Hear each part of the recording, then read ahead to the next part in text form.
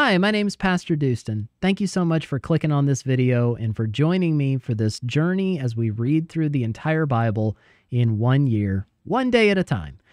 In each of these videos, I'll be reading three or four chapters. I'm reading out of the ESV.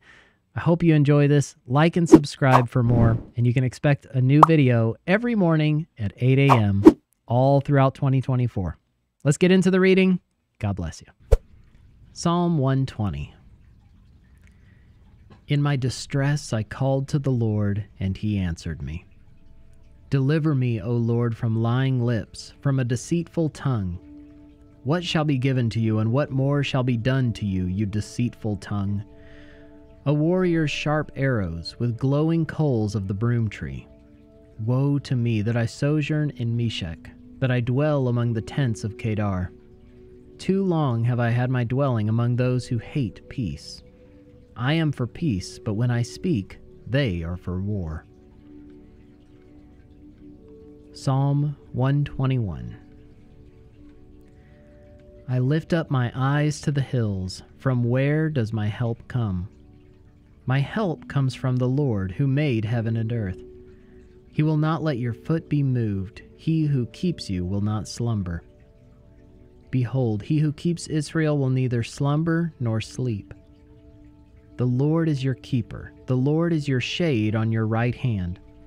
The sun shall not strike you by day, nor the moon by night. The Lord will keep you from all evil, he will keep your life.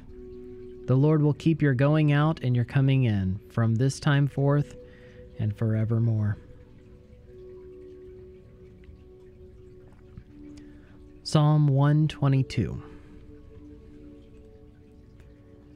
I was glad when they said to me, Let us go to the house of the Lord. Our feet have been standing within your gates, O Jerusalem. Jerusalem, built as a city that is bound firmly together, to which the tribes go up, the tribes of the Lord, as was decreed for Israel to give thanks to the name of the Lord. There thrones for judgment were set, the thrones of the house of David. Pray for the peace of Jerusalem. May they be secure who love you. Peace be within your walls and security within your towers. For my brothers and companions' sake, I will say, Peace be within you. For the sake of the house of the Lord our God, I will seek your good. Psalm 123 To you I lift up my eyes, O you who are enthroned in the heavens.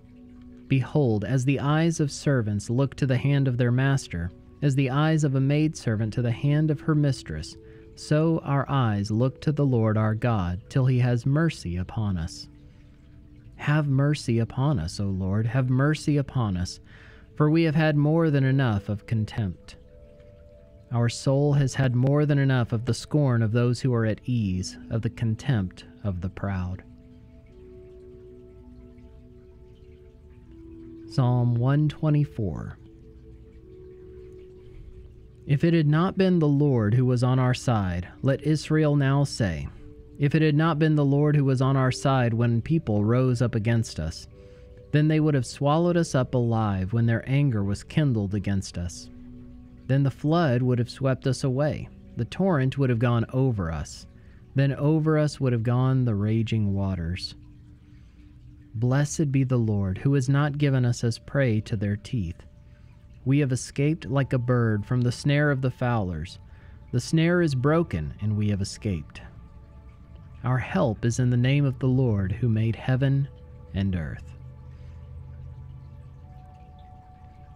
Psalm 125 Those who trust in the Lord are like Mount Zion, which cannot be moved but abides forever.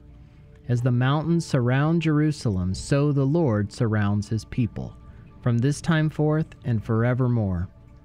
For the scepter of wickedness shall not rest on the land allotted to the righteous, lest the righteous stretch out their hands to do wrong.